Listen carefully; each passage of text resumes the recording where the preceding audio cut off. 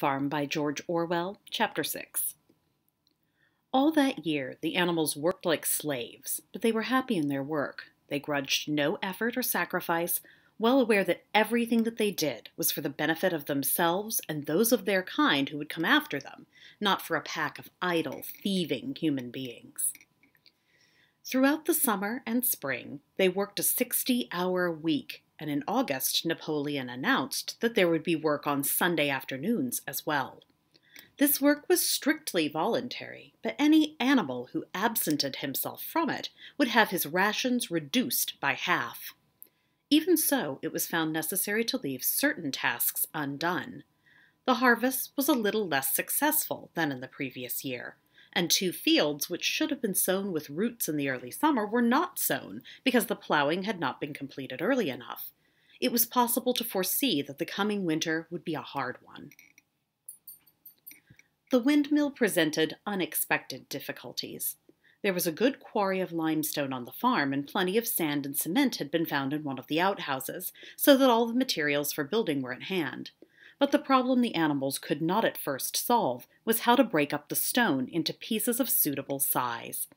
There seemed no way of doing this except with picks and crowbars which no animal could use because no animal could stand on his hind legs. After only weeks of vain effort did the right idea occur to somebody, namely to utilize the force of gravity. Huge boulders, far too big to be used as they were, were lying all over the bed of the quarry. The animals lashed ropes round these, and then all together horses, cows, sheep, any animal that could lay hold of the rope, even the pigs sometimes joined in at critical moments. They dragged them with desperate slowness up the slope to the top of the quarry, where they were toppled over the edge to shatter to pieces below. Transporting the stone when it was once broken was comparatively simple. The horses carried it off in cartloads, the sheep dragged single blocks, even Muriel and Benjamin yoked themselves to an old governess cart and did their share. By late summer, a sufficient store of stone had accumulated, and then the building began, under the superintendence of the pigs. But it was a slow, laborious process. Frequently, it took a whole day of exhausting effort to drag a single boulder to the top of the quarry, and sometimes, when it was pushed over the edge, it failed to break. Nothing could have been achieved without Boxer, whose strength seemed equal to that of all the rest of the animals put together. When the boulder began to slip, and the animals cried out in despair at finding themselves dragged down the hill, it was always Boxer who strained himself against the rope and brought the boulder to a stop. To see him toiling up the slope, inch by inch, his breath coming fast, the tips of his hooves clawing at the ground, and his great sides matted with sweat, filled everyone with admiration. Clover warned him sometimes to be careful not to overstrain himself, but Boxer would never listen to her. His two slogans, I will work harder and Napoleon is always right, seemed to him a sufficient answer to all problems. He had made arrangements with the cockerel to call him three quarters of an hour earlier in the mornings instead of half an hour. And in his spare moments, of which there were not many nowadays, he would go alone to the quarry, collect a load of broken stone, and drag it down to the site of the windmill unassisted. The animals were not badly off throughout that summer, in spite of the hardness of their work. If they had no more food than they had had in Jones's day, at least they did not have less. The advantage of only having to feed themselves, and not having to support five extravagant human beings as well, was so great that it would have taken a lot of failures to outweigh it. And in many ways, the animal method of doing things was more efficient and saved labor. Such jobs as weeding, for instance, could be done with a thoroughness impossible to human beings. And again, since no animal now stole, it was unnecessary to fence off pasture from arable land, which saved a lot of labor in the upkeep of hedges and gates. Nevertheless, as the summer wore on, various unforeseen shortages began to make themselves felt. There was need of paraffin oil, nails, string, dog biscuits, and iron for the horses' shoes, none of which could be produced on the farm. Later, there would also be need for seeds and artificial manures, besides various tools and finally the machinery for the windmill. How these were to be procured, no one was able to imagine. One Sunday morning, when the animals assembled to re- receive their orders, Napoleon announced that he had decided upon a new policy. From now onwards, Animal Farm would engage in trade with the neighboring farms, not, of course, for any commercial purpose, but simply in order to obtain certain materials which were urgently necessary. The needs of the windmill must override everything else, he said. He was therefore making arrangements to sell the stack of hay and part of the current year's wheat crop, and later on, if more money were needed, it would have to be made up by the sale of eggs, for which there was always a market in Willingdon. The hens, said Napoleon, should welcome this sacrifice as their own special contribution towards the building of the windmill. Once again, the animals were conscious of a vague uneasiness. Never to have any dealings with human beings, never to engage in trade, never to make use of money. Had not these been among the earliest resolutions passed at that first triumphant meeting after Jones was expelled? All the animals remembered passing such resolutions, or at least they thought that they remembered it. The four young pigs who had protested when Napoleon abolished the meetings raised their voices timidly, but they were promptly silenced by a tremendous growling from the dogs. Then, as usual, the sheep broke into four legs good, two legs bad, and the momentary awkwardness was smoothed over. Finally, Napoleon raised his trotter for silence and announced that he had already made all the arrangements. There would be no need for any of the animals to come in contact with human beings, which would clearly be most undesirable. He intended to take the whole burden upon his own shoulders. A Mr. Whymper, a solicitor living in Willingdon, had agreed to act as intermediary between Animal Farm and the outside world and would visit the farm every Monday morning to receive his instructions. Napoleon ended his speech with his usual cry of, Long live Animal Farm! And after the singing of Beasts of England, the animals were dismissed. Afterwards, Squealer made a round of the farm and set the animals' minds at rest. He assured them that the resolution against engaging in trade and using money had never been passed, nor even suggestion. It was pure imagination, probably traceable in the beginning to lies circulated by Snowball. A few animals still felt faintly doubtful, but Squealer asked them shrewdly, Are you certain that this is not something that you have dreamed, comrades? Have you any record of such a resolution? Is it written down anywhere? And since it was certainly true that nothing of the kind existed in writing, the animals were satisfied that they had been mistaken. Every Monday, Mr. Whymper visited the farm as had been arranged. He was a sly looking little man with side whiskers, a solicitor in a very small way of business, but sharp enough to have realized earlier than anyone else that Animal Farm would need a broker, and that the commissions would be worth having. The animals watched his coming and going with a kind of dread, and avoided him as much as possible. Nevertheless, the sight of Napoleon on all fours, delivering orders to Whymper, who stood on two legs, aroused their pride and partly reconciled them to the new arrangement. Their relations with the human race were now not quite the same as they had been before. The human beings did not hate Animal Farm any less now that it was prospering. Indeed, they hated it more than ever. Every human being held it as an article of faith that the farm would go bankrupt sooner or later, and above all, the windmill would be a failure. They would meet in the public houses and prove to one another by means of diagrams that the windmill was bound to fall down, or that if it did stand up, that it would never work. And yet, against their will, they had developed a certain respect for the efficiency with which the animals were managing their own affairs. One symptom of this was they had all begun to call Animal Farm by its proper name, and had ceased to pretend that it was called Manor Farm. They had also dropped their championship of Jones, who had given up hope of getting his farm back and gone to live in another part of the county.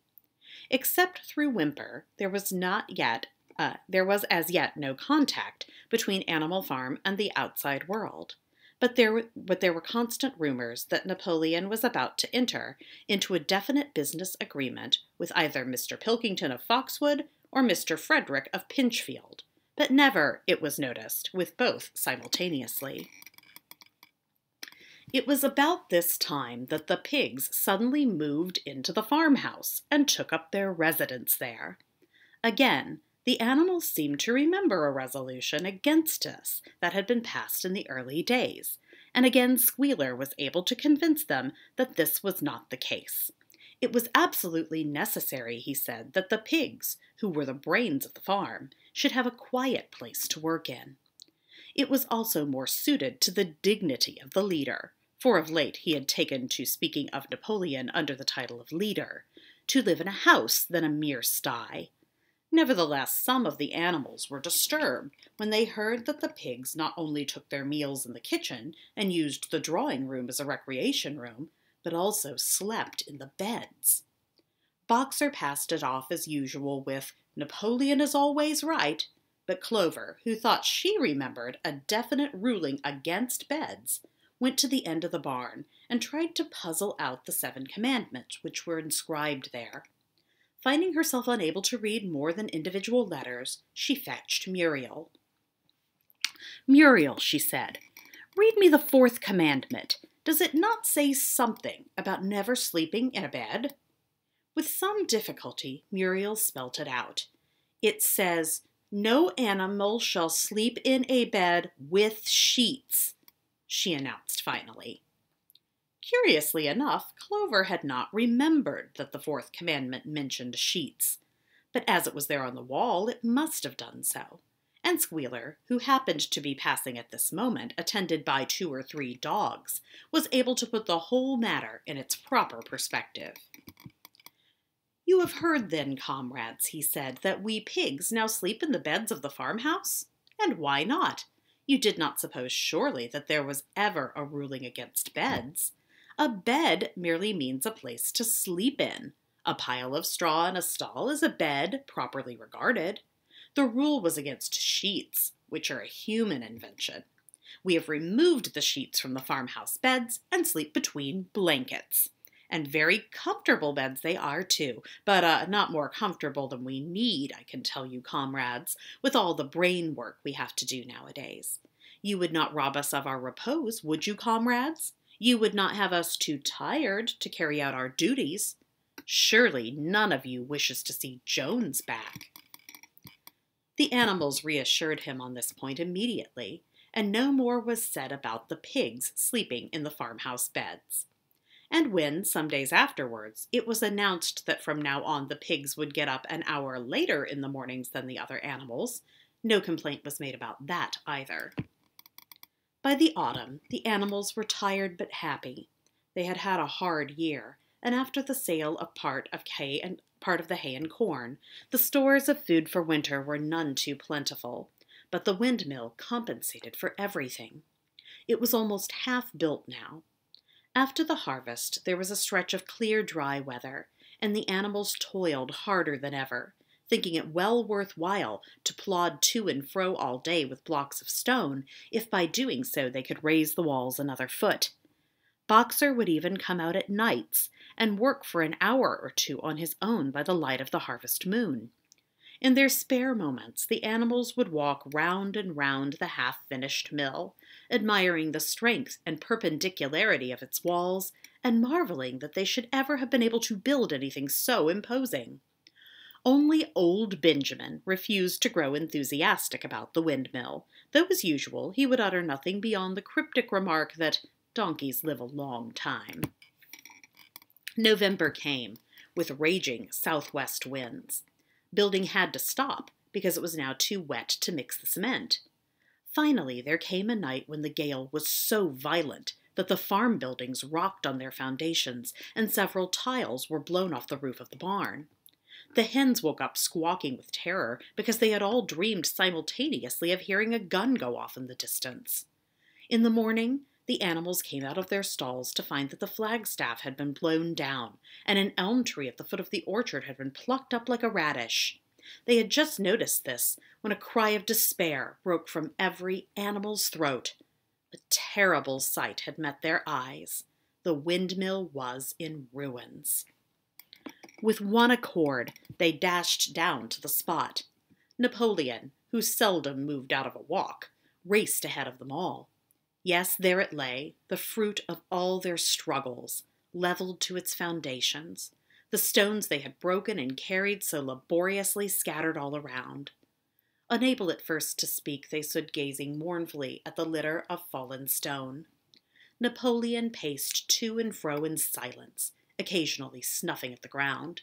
His tail had grown rigid and twitched sharply from side to side, a sign in him of intense mental activity. Suddenly he halted, as though his mind were made up. Comrades, he said quietly, do you know who is responsible for this? Do you know the enemy who has come in the night and overthrown our windmill? Snowball! He suddenly roared in a voice of thunder Snowball has done this thing! In sheer malignity, thinking to set back our plans and avenge himself for his ignominious expulsion, this traitor has crept here under the cover of night and destroyed our work of nearly a year. Comrades, here and now, I pronounce the death sentence upon Snowball, animal hero second class, and a half bushel of apples to any animal who brings him to justice, a full bushel to anyone who captures him alive. The animals were shocked beyond measure to learn that even Snowball could be guilty of such an action. There was a cry of indignation, and everyone began thinking out ways of catching Snowball if he should ever come back. Almost immediately, the footprints of a pig were discovered in the grass at a little distance from the knoll. They could only be traced for a few yards, but appeared to lead to a hole in the hedge. Napoleon snuffed deeply at them and pronounced them to be Snowball's. He gave it as his opinion that Snowball had probably come from the direction of Foxwood Farm. No more delays, comrades, cried Napoleon when the footprints had been examined. There is work to be done. This very morning we begin rebuilding the windmill, and we will build all through the winter, rain or shine. We will teach this miserable traitor that he cannot undo our work so easily. Remember, comrades, there must be no alteration in our plans. They shall be carried out to the day. Forward, comrades! Long live the windmill! Long live Animal Farm!